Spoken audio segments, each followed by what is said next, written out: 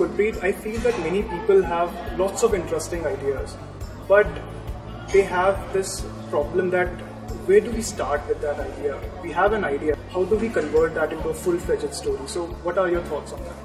You know, get an inspiration of an idea, which they can get by uh, reading a lot of books, by traveling, by experiencing life a little more, by trusting themselves to be storyteller, and finally, by understanding the basic fundamentals, you know, for the craft of writing. This much, and I think that they are good to go. Okay. So they have an idea now, but how do I convert this into a story? How do I build characters? How do I go into that?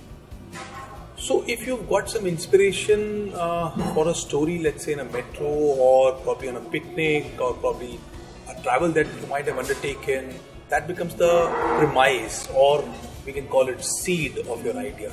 And then you need to expand on this seed. So, I would say that if you feel compelled about a particular idea, try to think about it over a period of time. Let's say for six months, because more often than not, I might think that this is a great idea now, but after about six months, I might not even remember that idea.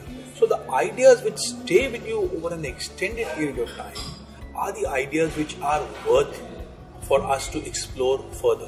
So let us assume that someone had an idea and, and remembers that idea for next six months. After that, it is expanding on that idea. And that is what plot is all about, which we have talked about uh, in the training in great detail and uh, also in a way that it is interesting for our audience. And once that is done, you know, one must trust their instinct.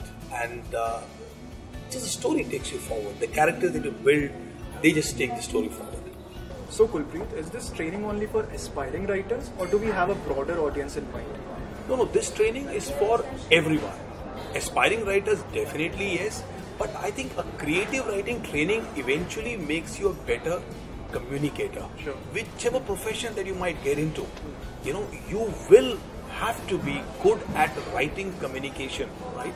So by doing this training, you will become a good communicator as far as writing English language is concerned, and that is going to help you at whichever profession that you might be. That's interesting.